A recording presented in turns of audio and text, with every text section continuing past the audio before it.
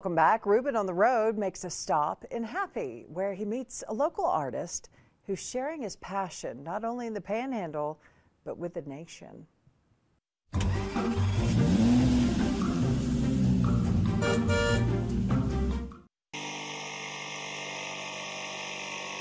Probably, I don't know, 10 years ago, uh, I think I went and bought a board and I used it for a little while, you know, thinking I wanted to just go cruise around and have a good time and everything. And then I watched a video on somebody that was making boards on how to, and I was like, you know, why don't I just start making my own boards and put my? And I've always, you know, dug the art that's been on boards that people sell and everything. I'm like, well, why don't I just build my own boards and put my own artwork on them, and just kind of do like a little Banksy style art run, you know, and just just make my own boards. And we get to travel a bunch and everything.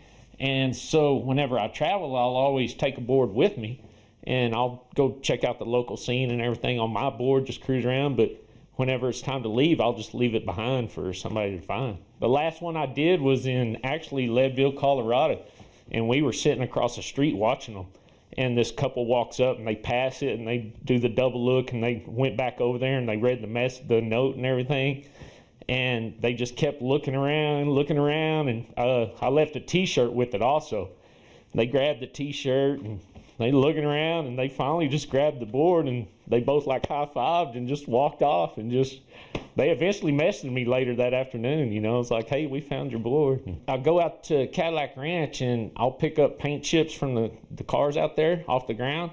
And I've been incorporating some of those paint chips in some of my boards that I'll leave behind, you know, for my board drops or whatever. So there's a piece of Cadillac Ranch and, you know, maybe, you know, San Diego or Memphis, Tennessee or something like that. But I've been incorporating that and everything. That's a lot of that's really cool. I mean, a lot of people want a recognition, you know, nowadays and everything, and I I could care less. You know, I just I just like making boards.